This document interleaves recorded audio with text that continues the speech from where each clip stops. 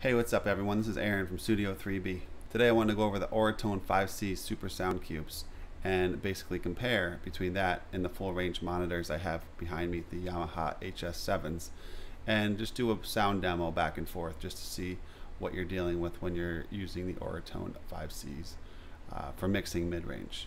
So let's uh, get right to it.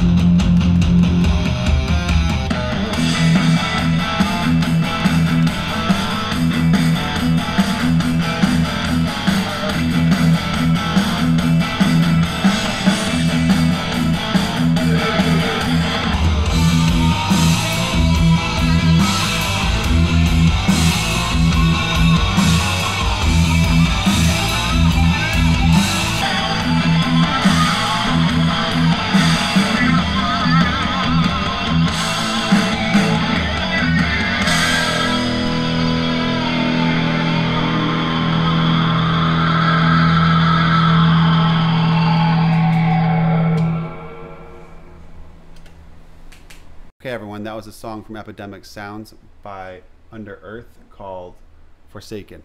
And I just wanted to go back and forth on that, get an idea of how the Auratones stack up against the full range monitor.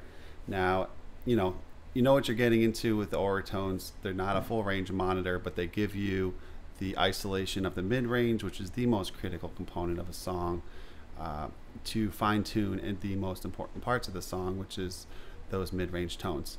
So I highly recommend going out and getting these. They're really uh, affordable for what their value is. They're reliable, and you can kind of lean on them as a kind of measuring stick of how something's going to sound. So you know you want it to sound good on all your devices, your television, to your iPhone, to you know even full range speakers. Uh, mix them on the Auratones, and they're going to sound good everywhere. You've heard that before. It's the truth. They're just very reliable. So. Uh, the Yamaha HS7s also very reliable, but they're not quite the uh, tool that the uh, Auratones are. They are uh, very truth telling though. I love to use those to do the uh, high end and the low end of my mixes and kind of hear how the whole thing is going to sound on a real set of speakers.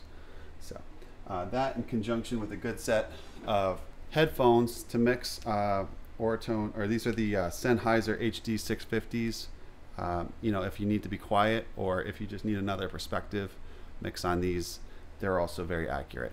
I hope you enjoyed this video. I hope that the song selection was enjoyable for you. And I hope that, you know, you got something out of this, whether you're thinking about buying the Auratones or uh, maybe comparing different uh, monitor speakers. this is my uh, opinion. I'd say definitely go for these in conjunction with some full range monitors, and you're going to be mixing uh, some really good quality, well balanced music if you do so. Talk to you later.